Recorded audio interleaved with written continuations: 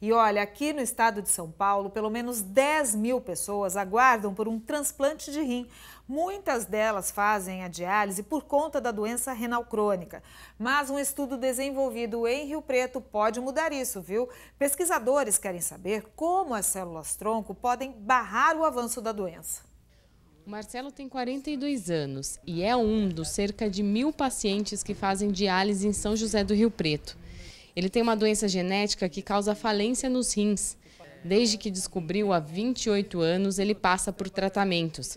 Já chegou a receber um transplante, mas teve que retirar o órgão e hoje faz diálise três vezes por semana. Eu não posso fazer uma viagem de uma semana porque eu não consigo ficar. E eu tenho que arrumar um lugar para me fazer. Se eu não arrumar, eu não posso sair. Mas aqui em Rio Preto surge uma esperança para os pacientes que têm doenças renais crônicas.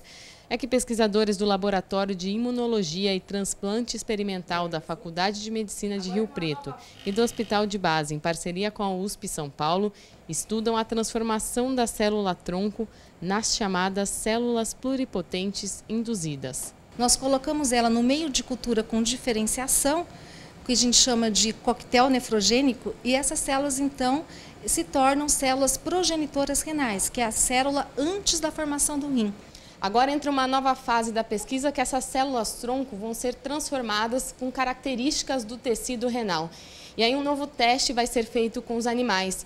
Os estudiosos acreditam que essas novas células podem até barrar o avanço da doença renal crônica mesmo com uma insuficiência renal crônica induzida nos, nos animais, havia uma melhora importante da função do rim.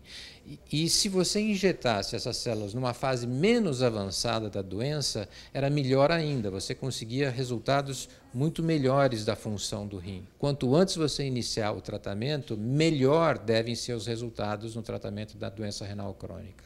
O estudo deve ser concluído em até dois anos.